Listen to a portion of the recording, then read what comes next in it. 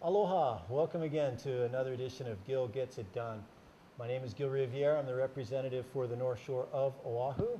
And uh, today with me today we have the Hawaiian kids and uh, their fearless leader, Glenn Lee.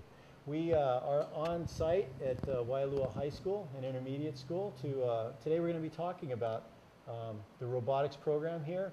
We're going to be uh, showing a demonstration of the equipment and we're going to be talking to some of the actual, shall we say, engineers or the performers, the artists who make, uh, make this all happen. So welcome, uh, welcome to the show, everybody. How's it going? Good. Thank you for And, um, coming. Thank you for, uh, thanks for allowing us to be here today. Would you uh, like to go first and uh, introduce uh, Glenn Lee, right? The, Right. uh, what is your title here? And, uh, and go about the history of how you came to be with this program at this school at this time. Okay. Well, my name is Glenn Lee. Uh, I'm a science teacher here at the school. I've been here for 18 years now, and 12 years ago, uh, we had we were introduced to this program called First Robotics. And so, because I had a background in electrical engineering and a business degree, a master's in business, uh, I was asked to be part of this team in which uh, we could offer robotics here or, or a robotics program here at our school. And so, um, you know, at first it became a year to year thing because it was, you know, for the early years, it was such a struggle to try to incorporate and build a robot with very little expertise and help.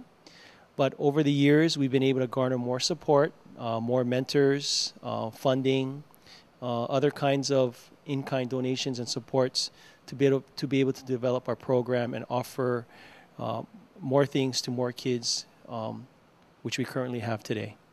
Great. So you, you've been going about 12 years with the, with the robotics program itself. Yes. Yes. And uh, you started from humble beginnings of, of, of just putting together, uh, um, were, they, were they pretty rudimentary machines or how, complicate, how complex were they now and how, how far has it gone in, in the, these 12 years?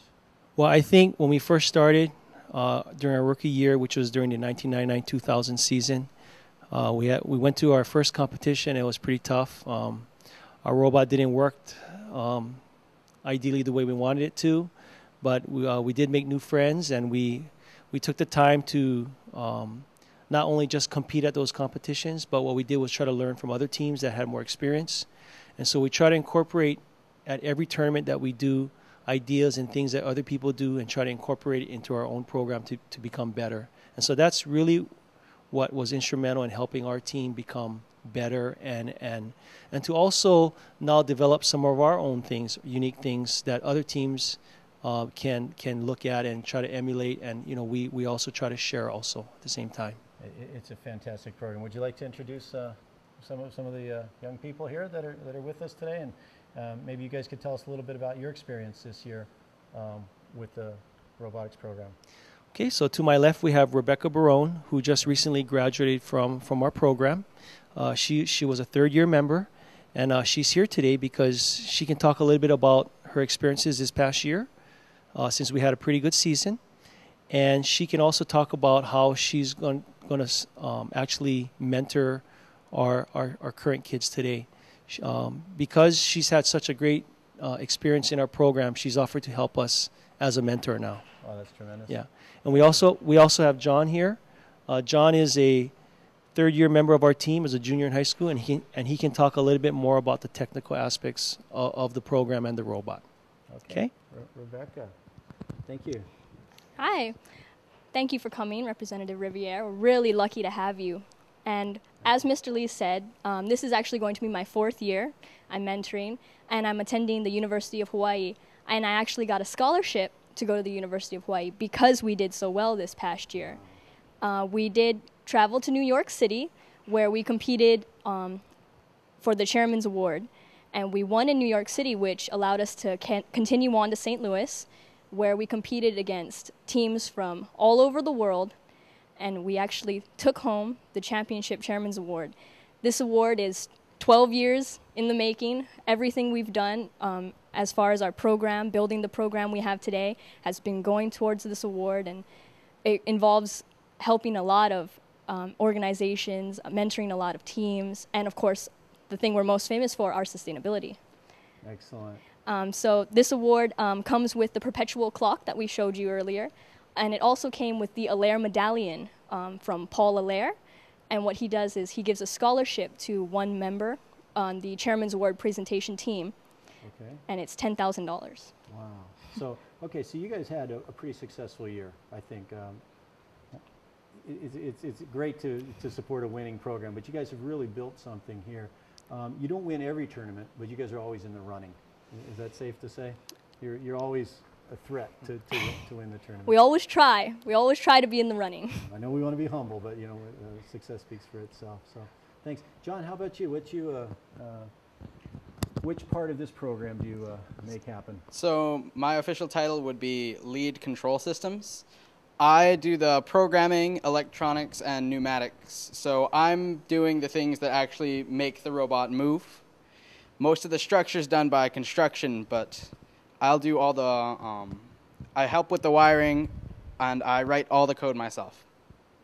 So, if something is, is, is got a twitch, got a nervous twitch, you're the guy that has to figure out why. I'll be the guy to troubleshoot that. Make it work. Well, obviously you're doing well. The whole team is doing well. You guys got good drivers, and it, it takes the whole team, right? But it, it, it all comes back down to science, technology, and math, doesn't it? I mean, it, it comes down to some fundamentals. Maybe Glenn, you'd like to uh, talk a little bit about, about that as far as how, how, how do you have to calculate all this and get it done? Why, why is this important for kids learning, and what future do they have? You mentioned some of that earlier today.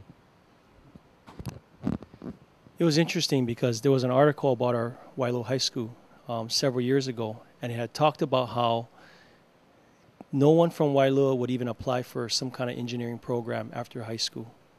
Ever since we started our program in the 1999-2000 school year, we've had a lot more kids major in STEM-related fields. Again, like you said, science, technology, engineering, and math. For our program, I think what makes it unique is that we have a lot of different areas other than just building robots. So we don't just have a programmer, a person that's you know constructing the robot. Uh, we we have people that are that do video editing. We have graphics people on our team. We have people that want to go into arts and communication. They do interviews. They do outreach. We share our ideas with other teams, and so it's a pretty well-rounded program that allows our kids different opportunities to go into different areas depending on what they're interested in. And so I think we've kind of established that over the last, especially the last five years, where we can offer more credits and more areas just using robotics as a vehicle to get our kids to do these things. And so the, the proof in the pudding is we have, you know, 90% of our kids now ap- at least apply or try to attend and get into some kind of post-secondary program. That's tremendous. And that really is in part, a huge part of it is because of our program that we've been able to um, inspire kids. And again, um, trying to spread ourselves out to doing more areas so that we can attract more kids that are interested. So the, ro- the robot is just the thing to attract the kids. Right. But in the end, what we want our kids to do is to go on and do bigger and better things um, once they finish high school. I've, I've heard some anecdotal uh, stories very similar to that, such as other other other schools. I won't, won't say which, but uh, other schools where they didn't have a program, and people just a lot of kids just weren't showing up for school, but all of a sudden they had this program, and suddenly learning had become fun, and there was kids attendance gets better, the, the morale. Just to be in the program, you got to you've got to apply yourself, right? And so It's true. people are showing up, they're, they're learning, they're having fun learning. And, and I think uh, you mentioned there's people that are getting high position jobs now um, based on their experiences and, and springboard that this provides. Yeah?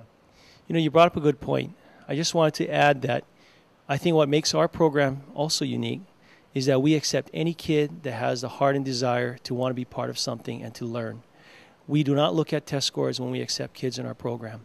We've had a range of valedictorians to almost high school dropouts to kids that um, have flunked some years, special ed kids.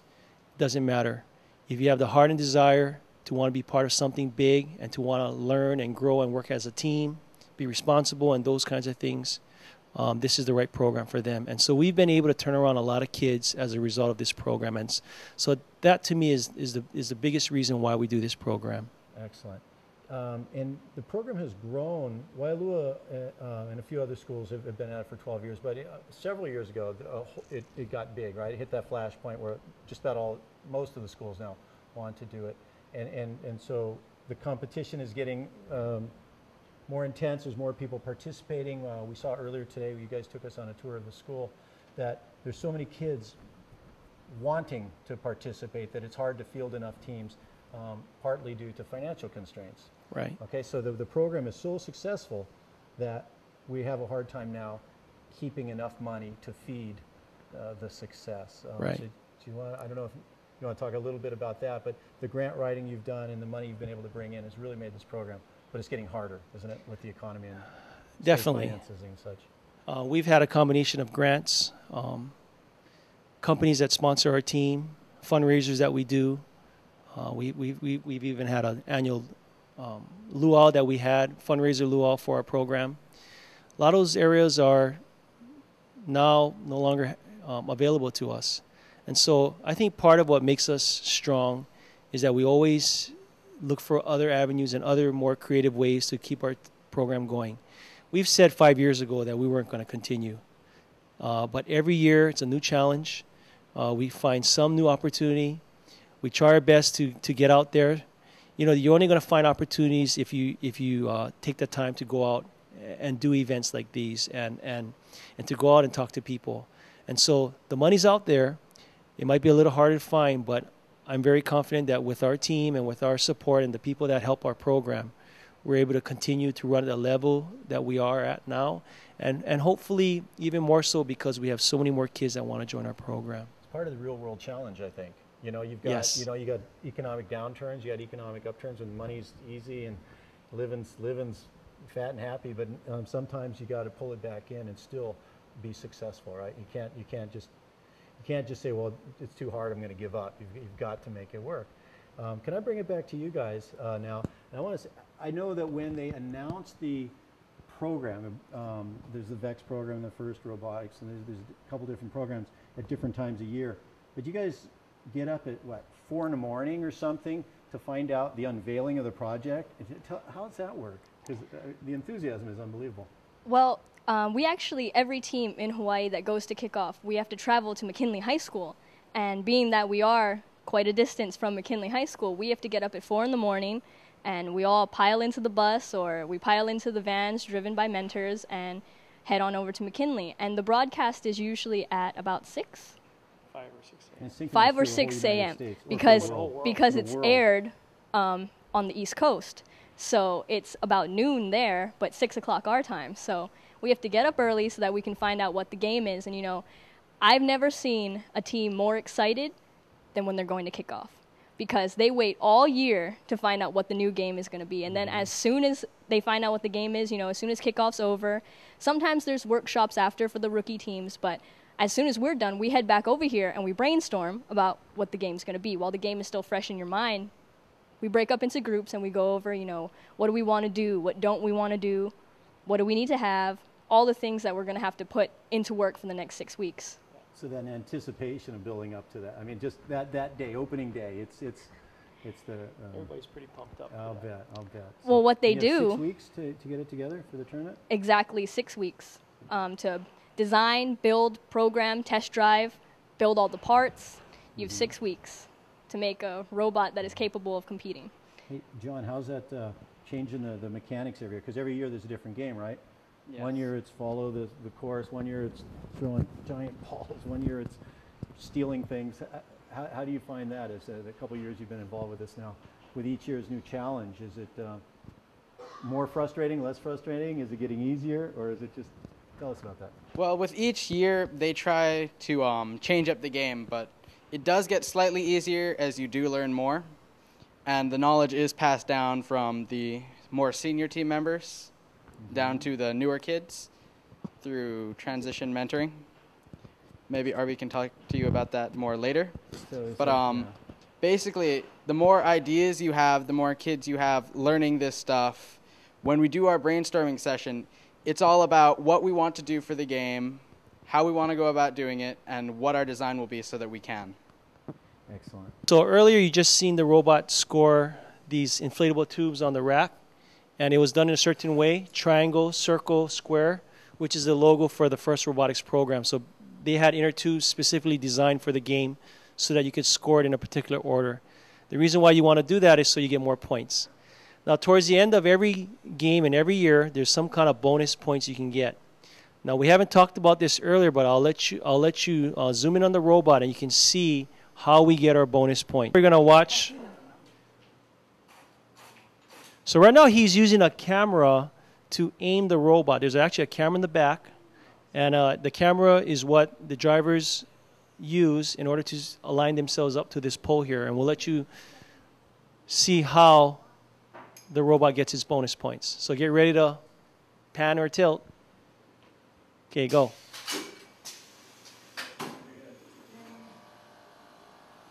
So as you can see, there's a little mini bot on there. And the team that gets up there first gets the most bonus points. And you can there's a total of four poles on the field, the actual field. And so with six robots, the first four robots can get their mini bot up in the towers and get the bonus points. Okay, so what we're going to do is we're going to demonstrate the mini bot going up again. Okay, here we go. Whenever you're ready, go ahead.